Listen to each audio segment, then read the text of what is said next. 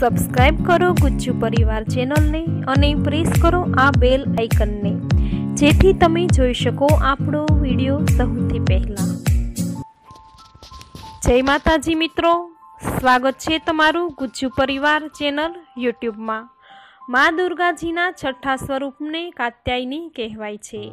કાત્યાયની નામ કઈ રીતે પડ્યું તેની સુંદર કથા છે. કત નામે પ્રસિદ્ધ મહર્ષિ હતા. તેમના પુત્ર કાત્ય ઋષિ થયા.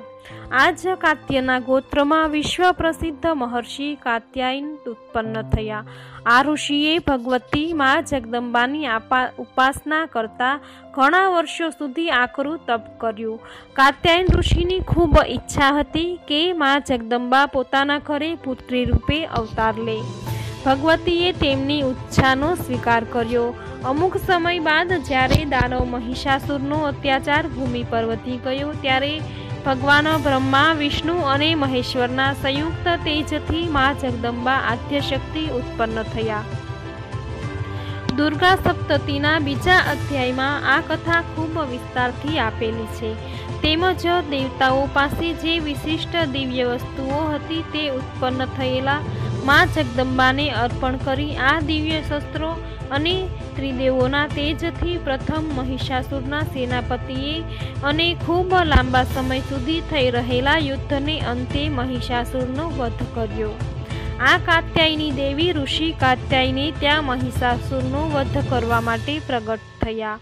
સૌથી પહેલા તેમની મહાપૂજા ઋષિ કાત્યાયને કરી, તેથી કાત્યાયની કહેવાયા. મા કાત્યાયની અમોધ ફળ આપનારા છે. ભગવાન શ્રી કૃષ્ણને પતિ તરીકે પામવા માટે વ્રજની ગોપીઓએ માક્ષર માસના યમુના સ્થાન સાથે કાત્યાયની વ્રત કર્યું હતું અને કાત્યાયની માના આશીર્વાદથી શ્રી કૃષ્ણને પતિ તરીકે મેળવ્યા. તેઓ વ્રજમંડળના અધિષ્ઠાતી દેવી તરીકે પૂજાય છે. તેમનું સ્વરૂપ અત્યંત ભવ્ય અને દિવ્ય છે. વર્ણ સુવર્ણ છે, તેમની ચાર ભુજા છે.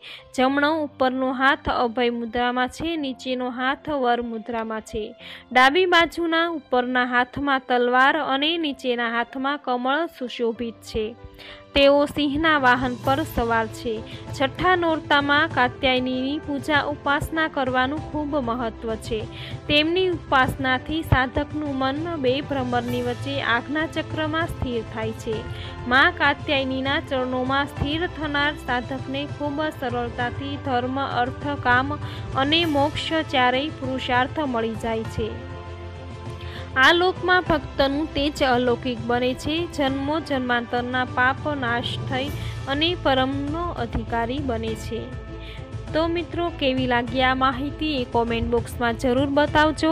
આ વિડીયોને લાઈક કરજો. આ ચેનલ હજુ સુધી સબસ્ક્રાઈબ નથી કરી, તો જલ્દીથી સબસ્ક્રાઈબ કરી દો. તમારા મિત્રોને આ માહિતી જરૂર શેર કરજો અને કોમેન્ટ બોક્સમાં જય માતાજી જરૂર લખજો.